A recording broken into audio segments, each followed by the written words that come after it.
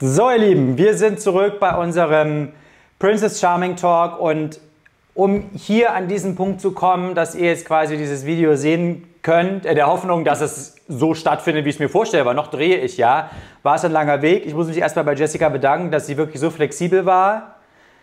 Denn Klar.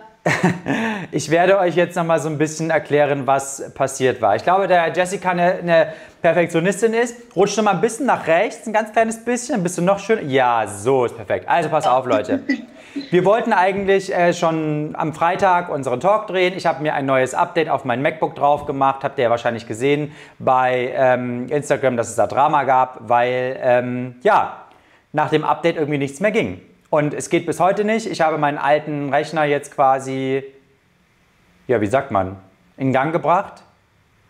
Yeah. Und muss jetzt erstmal mit der Lösung bis dahin zufrieden sein. Ich merke schon wieder, dass ich hier total panisch werde und ständig hier gucke und scanne, ob alles läuft, ob alles synchron ist, aber ähm, ja. Es muss. wird schon gut gehen. Es wird schon gut gehen. Gut, fangen wir mal mit der Folge an. Also, dieses, dieses Spiel zum Gruppendate ich muss dir ehrlich sagen, ich weiß nicht, wie ich das finde, jetzt auch im Nachgang noch so. Mit diesem, also dieses Spiel, also es war ja kein, genau, es war ja kein Gruppendate, sondern es, es ging ja da, ist ja darauf hinausgelaufen, dass es eine Person quasi zum Date kommt. Aber ja. die mussten ja dieses Spiel machen. Date. Ja. Das, der Gewinn war ja ein Einzelgespräch. Genau. Genau.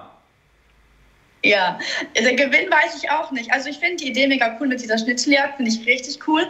Auch, dass man noch mal so ein bisschen mehr über sie erfährt, auch wie sie aufgewachsen ist oder keine Ahnung, was mit der Kindheit und so, finde ich eigentlich richtig die coole Idee. Der Gewinn weiß ich jetzt nicht, ob, ja, ob das so ähm, reizvoll ist, ein Einzelgespräch. Äh, ja, also ich fand auch diesen Weg dahin, soll ich dir ehrlich sagen, warum ich das auch so komisch fand? Ich sag dir, ich sag dir mal ganz offen, weil ich, ich finde so eine Idee von, was wisst ihr über mich, was können wir nochmal so abchecken, finde ich irgendwie cool. Aber ich dachte mir so, such dir doch einfach jemanden raus, an dem du Interesse hast. Vielleicht auch jemanden, mit dem du noch nicht gesprochen hast, weil zum Beispiel Aisun war ja auch da. Da gab es ja auch noch, also würde ich jetzt mhm. sagen, kein intensiveres Einzelgespräch. Stattdessen wird einfach irgendwie dem, dem, das dem Zufall überlassen. Das hat natürlich für uns Zuschauer eine gewisse, einen gewissen Entertainment-Faktor, aber du weißt, was ich meine. Da denke ich mir so, ja. Kein, es geht ja eigentlich um Staging. Ja, und es sollte darum ja. gehen, an wem man jetzt ernsthaft Interesse hat, nochmal irgendwie nach, nachzubohren oder halt auch nicht. Das stimmt, vor allem, weil ja auch gesagt wurde, eigentlich hätte ja Aisun wahrscheinlich gewonnen, wenn Elsa da nicht äh, so ein bisschen äh, sich gesneakt hätte dass sie dann mit Aisun auch nicht gesprochen hat. Da, ich finde, da hat man schon wieder gemerkt, dass das Interesse an Elsa viel größer ist wie bei den anderen in dieser Gruppe. Ansonsten hätte sie doch mit Sicherheit irgendwie gesagt, so, okay, Elsa hat quasi gewonnen, ähm, wir machen das Einzelgespräch zuerst, aber danach will ich mit Aisun noch reden, weil Aisun ja eigentlich gewonnen hätte. Ja. Ich finde, da hat man wieder gemerkt, das Interesse ist nicht so da. Ja, das finde ich auch. Ich muss aber auch ehrlich sagen, bei dieser ganzen Sache, ich habe da jetzt nochmal im Nachhinein auch viele Kommentare gelesen. Da ist mir so eine Sache aufgefallen, die, ich, äh, die mir gar nicht so aufgefallen ist, als ich das gesehen habe. Und zwar haben die Leute gesagt, ich weiß gar nicht, ob es Aisun gesagt hat oder ob das Lilly war. Irgendjemand hatte ja beim Abziehen die Lösung gesagt. Zu dem Zeitpunkt hatte die Elsa ihre, ihre Lösung noch nicht, also das noch nicht abgezogen, sie wusste ja. es nicht und hat sich basierend darauf, dass die anderen das schon gesagt gesagt haben, was das Ergebnis ist, nochmal spontan umentschieden. Also da finde ich alle Situationen ehrlich gesagt schwierig. Weil, warum sagen die das schon laut, wenn noch nicht alle abgezogen haben? Das stimmt und deswegen finde ich das auch, also ich mag, dass Eison was gesagt hat, weil ich finde, das hat so ein bisschen wieder Action reingebracht, weil ja. ich fand die Folge ehrlich gesagt mega langweilig. Und das war so etwas, was irgendwie so ein bisschen Würze reingebracht hat, mhm. dass ähm, Eisun da gegen Elsa geschossen hat.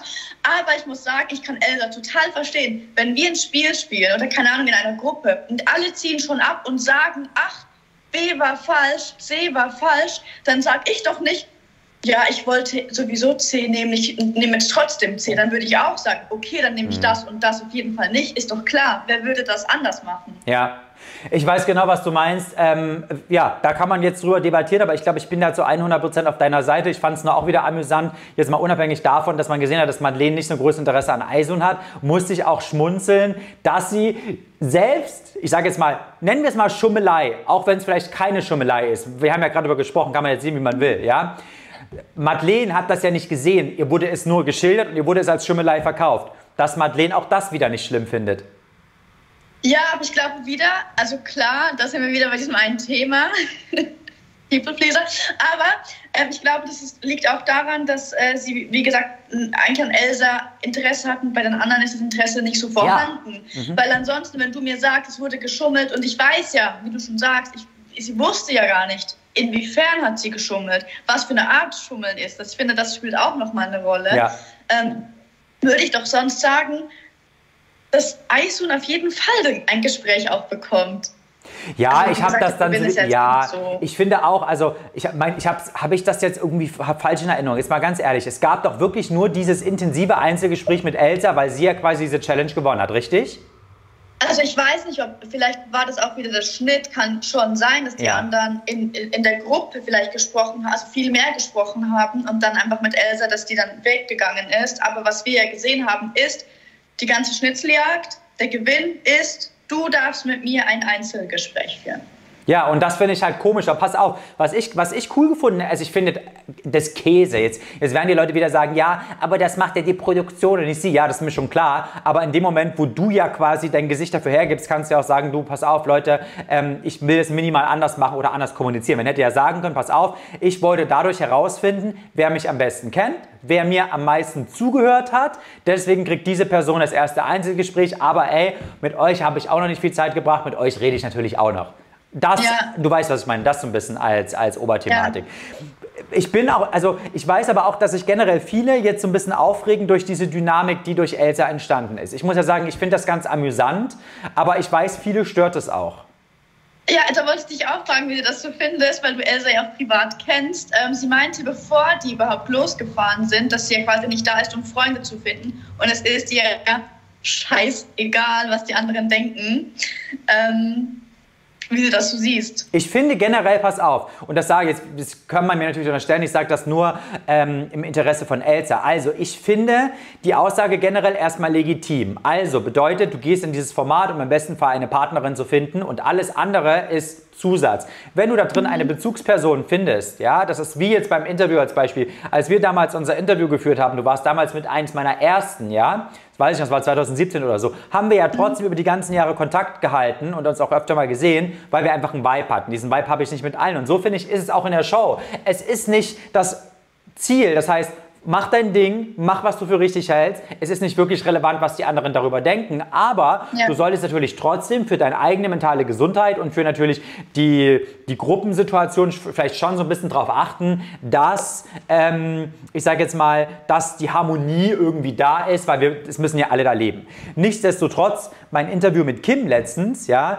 hat ja auch nun, ähm, da hat sie ja gesagt, dass sie viel mehr auf die anderen geachtet hat und dass das unter anderem ein Grund war, warum sie eigentlich mit Madeleine nie so wirklich gesprochen hat, weil sie sich mehr um die anderen gekümmert hat. Und das kann halt auch nicht die Lösung sein. Insofern finde ich die Aussage von Elsa nicht so falsch. Ich muss auch sagen, ich finde es ich mega unterhaltsam auf der einen Seite als Zuschauerin, das zu sehen. Auf der anderen Seite finde ich es mutig von Elsa, weil man braucht ja immer so eine Bezugsperson, oder ich brauche auch immer so eine Bezugsperson in der Show, weil du bist ja sonst voll lost irgendwie, Total. weil ja alles neu ist und überfordernd sein kann. Und ich finde es mega mutig, dass sie so sagt, so ich scheiß drauf. Mhm.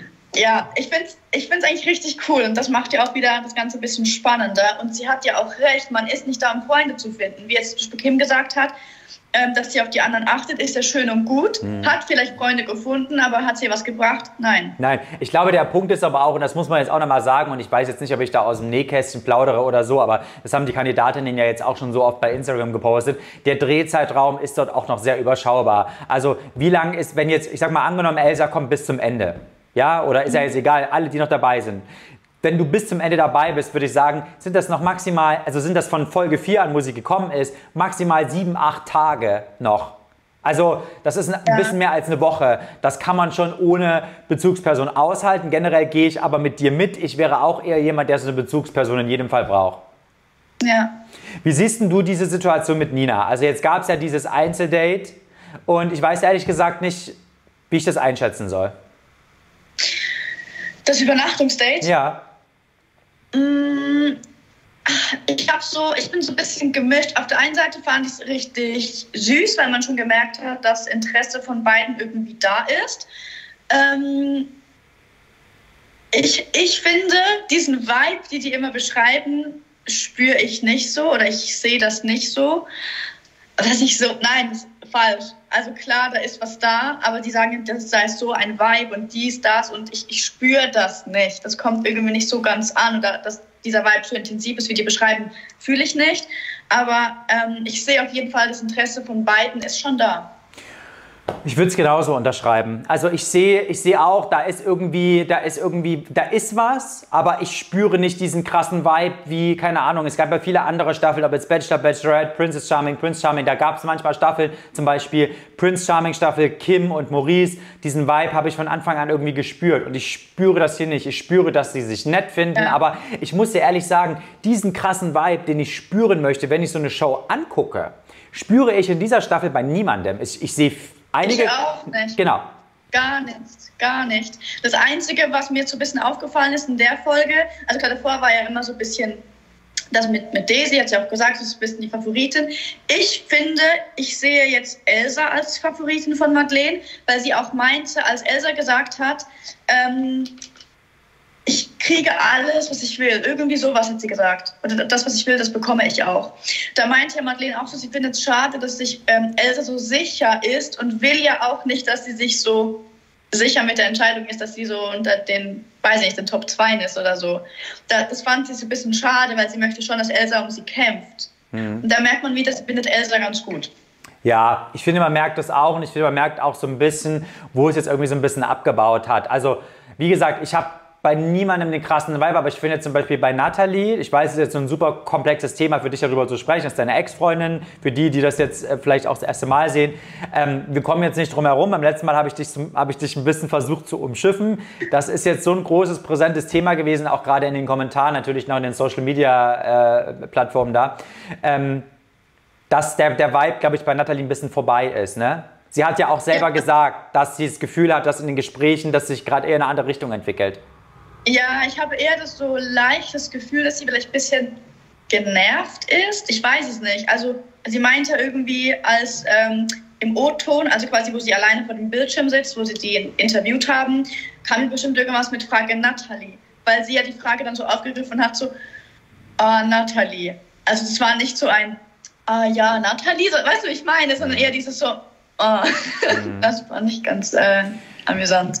Ich muss dir aber auch ehrlich sagen, also das muss ich jetzt aus beiden Perspektiven mal besprechen. Ich habe ja, hab ja jetzt äh, zuletzt auch ein Q&A gemacht, wo mich Leute gefragt haben, wie ich, wie ich ein erstes Date ähm, angehen würde. Und habe ich gesagt, dass ich für mich von Anfang an so relevante Fragen abklappere was. Lebenseinstellungen für die Zukunft generell betrifft.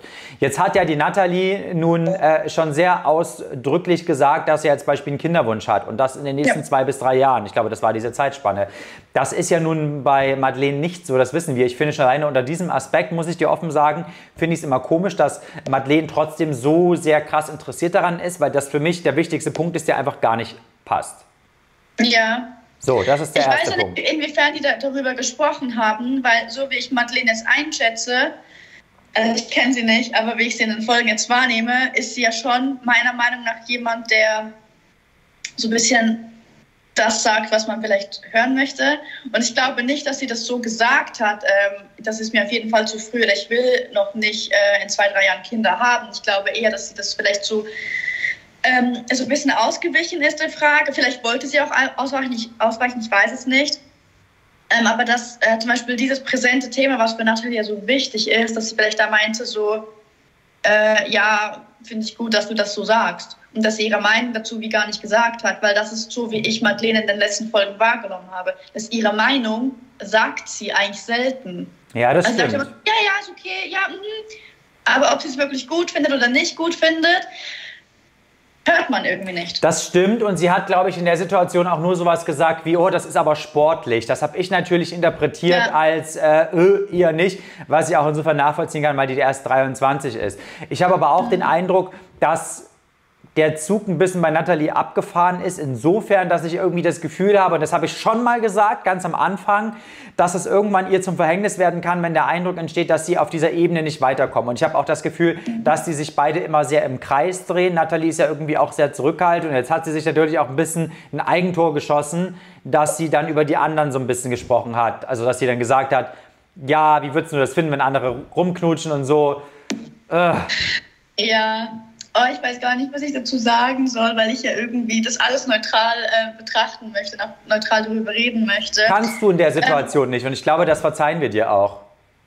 Ja, ich fand es einfach so ein bisschen lustig, weil ich ja Nathalie kenne, ähm, wie sie das dann wieder so verkauft hat. Sie hat ja gefragt, ich, äh, ich glaube, der ungefähre Wortlaut war ja, wie würdest du es finden, wenn die Leute in der Villa knutschen? Die hat ja nicht gesagt, wenn ich knutsche, das weiß. Sie hat gesagt, hat sie Leute nicht, genau. irgendwie so auf die anderen bezogen. Und dann hat sie ja quasi noch gefragt, äh, irgendwie, oh, was habe ich verpasst oder irgendwie so war das. Und dann meinte sie ja noch so, ja, gestern, als du auf diesem, auf, als du das Einzeldate hattest, also sie hat es eigentlich schon erzählt und verkauft es dann wieder so bei den anderen, als, also äh, Nathalie ist Profi darin, dass sie ein Thema äh, bei den anderen, also sie erzählt was und dann, wenn es um diese Person geht, wo das war, erzählt sie so ein Prozent davon und die 99 Prozent, die eigentlich wichtig wären zu wissen, lässt sie weg. Und das hat sie jetzt wieder gemacht. Mit diesem, äh, nee, nee, habe ich so nicht gesagt. Ich habe gefragt, wie das wäre, wenn, ähm, wenn, wenn ich jemanden küssen würde in der Villa. Was ich so geil fand, als Melanie meinte, wenn, wenn es so ist, ist es okay. Wenn es anders wäre, dann bist du eine Ich finde das so geil. Das, das, ich, das, was du jetzt aus deiner persönlichen Erfahrung gesagt hast, kann, da kann ich jetzt natürlich nichts zu sagen. Deswegen lasse ich das jetzt auch einfach so unkommentiert stehen. Ich glaube, das Ding ist, dass Nathalie das wahrscheinlich, glaube ich, generell erstmal Madeleine schon mit einer bestimmten Intention gesagt hat. Dann kam, dann kam aber nicht vielleicht die Reaktion drauf, die sie erwartet hat. Dann mhm. musste sie das irgendwie gerade biegen, in Anführungsstrichen, vor der Gruppe und hat dann mhm. natürlich realisiert, schon anhand der Reaktionen, dass wenn sie jetzt die Wahrheit sagen würde, dass das nicht gut ankommt. Das stimmt. Und deswegen. Musst halt immer, da musst du für dich halt einschätzen, ist, willst du in der Gruppe gerade gut ankommen in dem Moment? Was die Zuschauer aber in dem, also in dem Moment, klar, Monate später, aber gefühlt in diesem Moment gerade mitbekommen.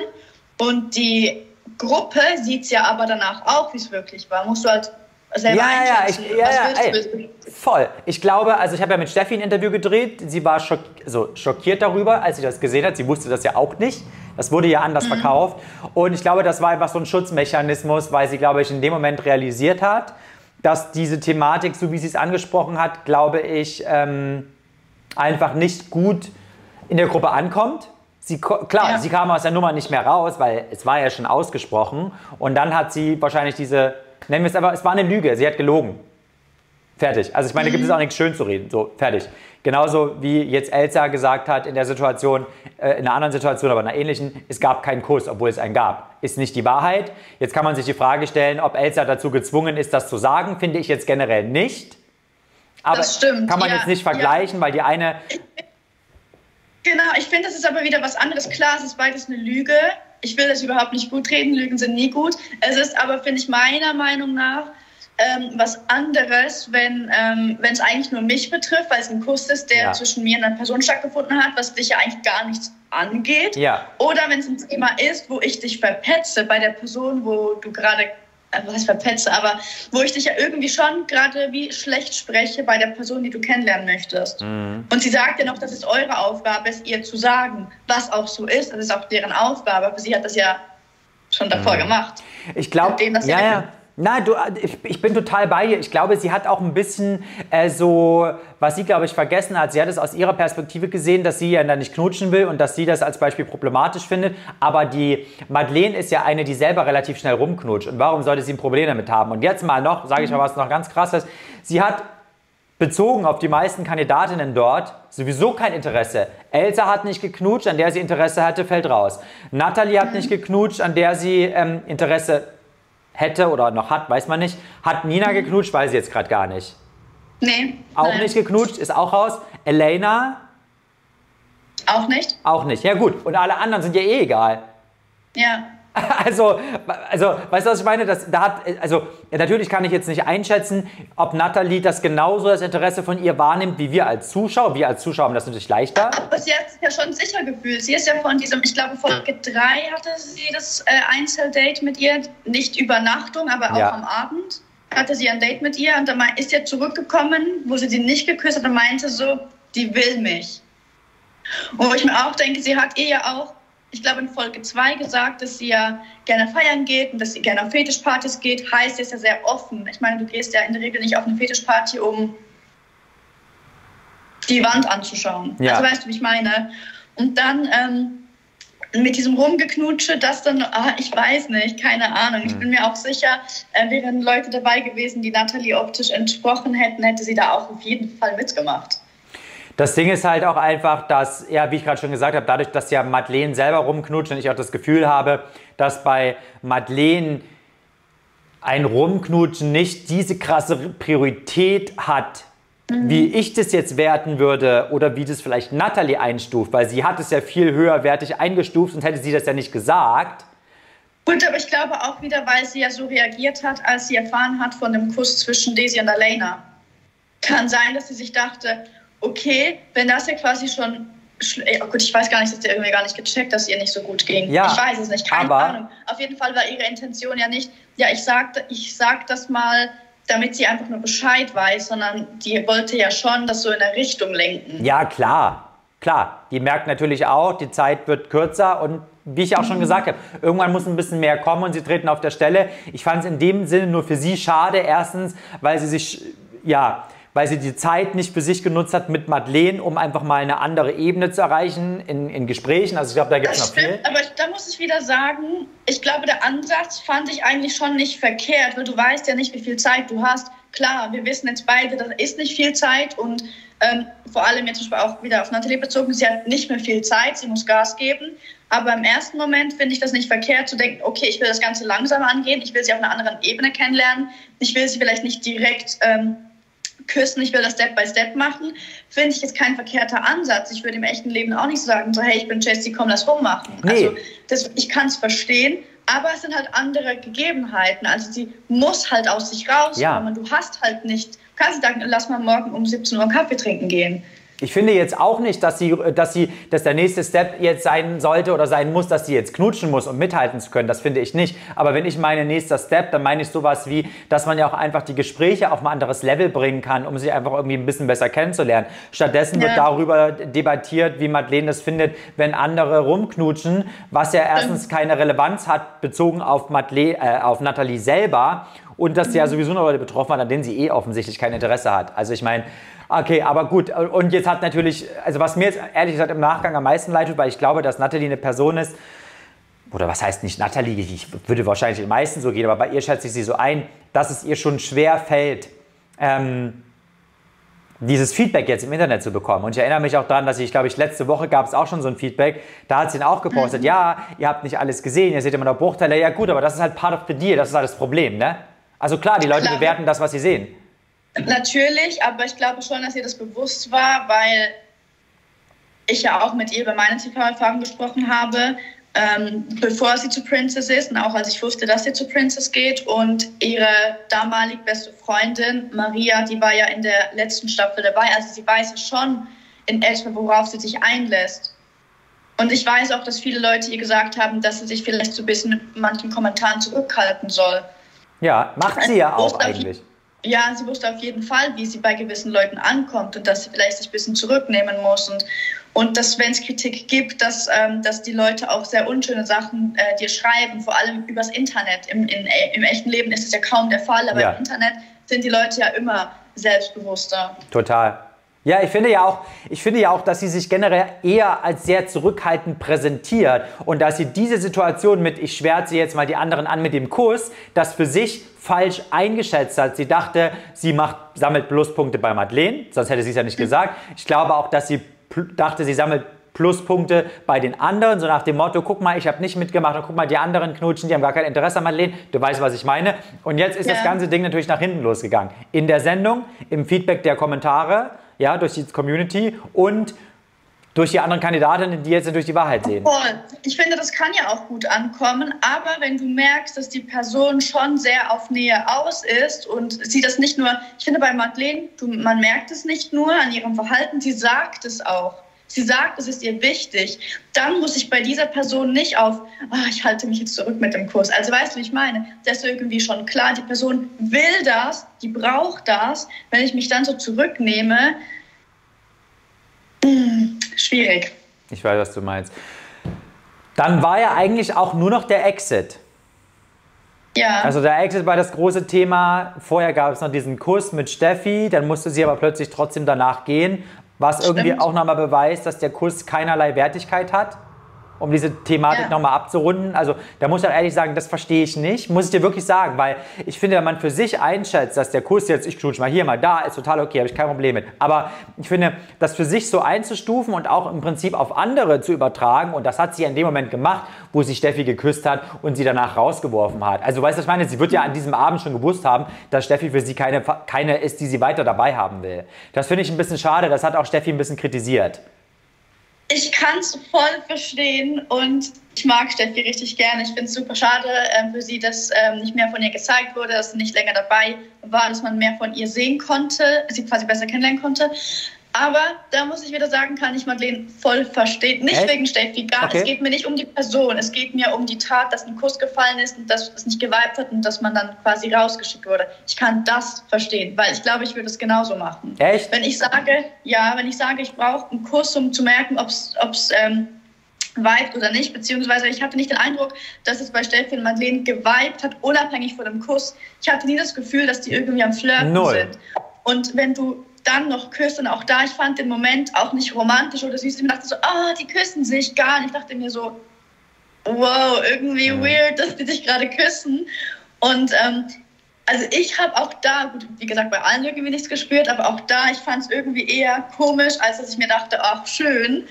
Und ähm, wenn es dann nicht weibt und es eh irgendwie nicht, nicht knistert zwischen uns und der Kuss dann auch noch nicht überzeugt, dann würde ich dich auch nach Hause schicken. Ja, aber jetzt muss ich dir mal eine Frage stellen, weil du das so reingeworfen hast. diese Frage stelle ich mir jetzt. Und ich weiß, jeder Mensch ist anders und reagiert und geht damit auch anders um. Und das ist auch total legitim. Aber wenn ich schon ohne einen Kurs mit niemandem einen Vibe habe, also nicht mal im Ansatz, dann sage ich dir aus meiner Perspektive, dann will ich die Person auch gar nicht küssen, weil wofür? Wenn im normalen Alltag kein Vibe da ist, wird doch jetzt nicht nach einem Kuss ein Feuerwerk der Gefühle entfachen und plötzlich ist auch darüber hinaus der Vibe da, der vorher nicht da ist. Ich verstehe, dass ein Kuss wichtig ist, um zu gucken, was fühle ich. Weil manchmal hast du ja einen Vibe mit der Person und dann küsst du die und dann merkst du vielleicht, hm, irgendwie ist, ist matchy, aber umgedreht finde ich es halt, weiß ich nicht.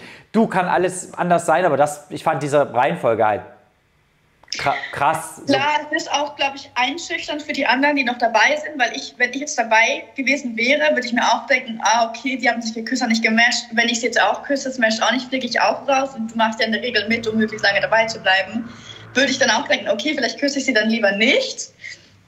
Ähm, aber ich kann Madeleine verstehen und ich hätte es genauso gemacht. Vor allem, ich fände es auch komisch, wenn sie jetzt das Feedback gibt, so, ja, ähm, sie hat, glaube ich, gesagt, das hat, der Kuss war schön, aber es hat einfach, sie hat einfach nichts gespürt. Ich glaube, das waren ihre Worte oder ihre Beschreibung zum Kuss.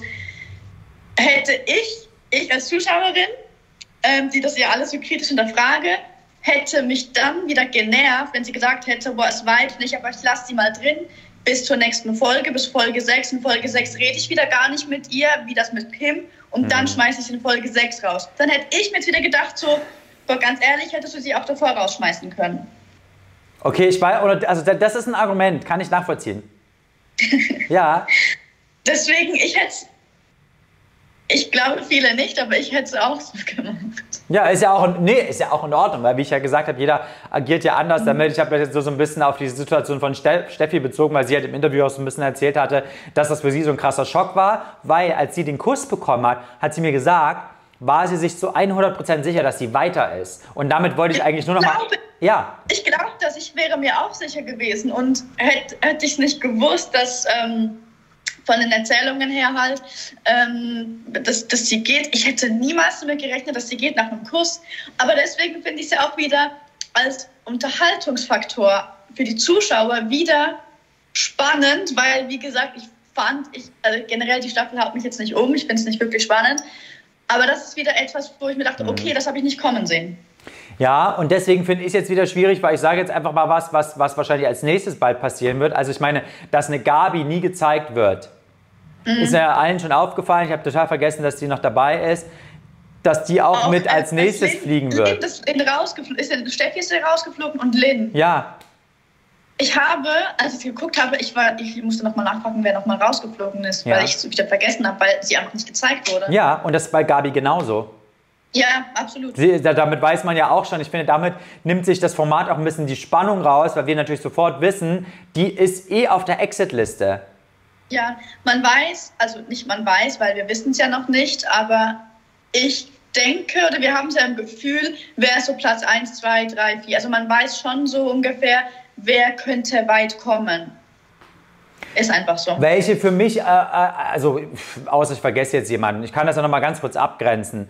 Ich nehme, wir haben immer Top 4, bleibe ich dabei. Top 4 ist Elsa, Nina, Natalie und Elena. Ich glaube, Natalie würde ich aber ganz nach unten setzen. Und alle anderen fliegen im am Lilly Exit. Aisun Exit. Gabi mhm. Ex, habe ich mir vergessen. Ja, was ich voll schade finde, weil sie mit den Leuten gar nie gesprochen hat. Ja, ja, also, ja, sie hat es nie rausgefunden. Nicht gesehen. Man mhm. hat es nicht gesehen, dass überhaupt eine Unterhaltung stattgefunden hat. Total, aber das macht es auch für uns als Zuschauer in, in Anführungsstrichen total unspannend, weil sie jetzt, das also... Plus hinterfrage ich dann wieder, wieso sind das die Top 4, wenn mit zwei davon irgendwie auch kaum mehr was stattfindet, beziehungsweise wenn was stattfindet, das eher ins nicht negative, aber nicht, ähm, oh, die Person ist so toll. Du meinst, lass mich raten, du meinst ja mit Natalie und Elena. Ja. Ja, ja, ich weiß, was du meinst. Ich weiß genau, was du meinst. Also das finde ich einfach so vom, klar, es gibt immer mehr Gespräche, als die, die gezeigt werden, aber ich finde es vom Storytelling her dann ehrlich gesagt auch schwierig, weil der jetzt, wie gesagt, in den nächsten Folgen fliegt, liegt ja, ja auf der Hand. Oder es passiert halt noch richtig viel mit den beiden jetzt in den nächsten Folgen. Weil Stand jetzt würde ich mir denken, kann man vorspulen bis zum Finale, weil auf, ähm, für mich im Finale stehen Elsa und Nina, weil mit den anderen war ja nichts. Ja. Also es muss ja noch was passieren, dass es irgendwie ein bisschen, dass, dass ein bisschen Action reinkommt, dass vielleicht noch ein paar mehr Leute äh, die Favoriten sind. Also, oder ja. dass vielleicht Elsa und Nina vielleicht auch uns ausschießen. Ja, Weiß also sagen wir es mal so, Nathalie stand jetzt, außer sie würde sich von ihrer Person her um, um, um 180 Grad drehen, ja, ähm, ist keine Finalkandidatin. Ja, aber sie studiert ja auch Psychologie. Vielleicht ähm, kann sie ja noch den Switch hinbekommen. Das kann sein. das kann sein. Ich würde sagen, wir belassen das erstmal an dieser Stelle. Der Talk war für mich ja heute hier eine große Herausforderung. Einmal, weil ich natürlich dich dieses Mal nicht davon kommen lassen konnte. Und zweitens, weil ich ja, die ganze Zeit. MacBook. Und meinem MacBook, das kreist wirklich. Liebe Leute, ich kann euch sagen, ich bin im Grund auf heute Morgen schon schlecht gelaunt aufgewacht, weil ich ja trotzdem noch weiß, dass ich das lösen muss. Und ich weiß nicht wann. Ich würde dir auch so gerne helfen. Ich habe nur leider gar keine Ahnung davon. Ja. Gut, Leute. Schreibt uns eure Meinung in die Kommentare. Wir sind sehr gespannt auf euer Feedback und wir verabschieden uns und sagen bis zur nächsten Runde. Ja, vielleicht wieder mit dem alten MacBook. Wir werden sehen. In diesem Sinne, auf Wiedersehen. Tschüss.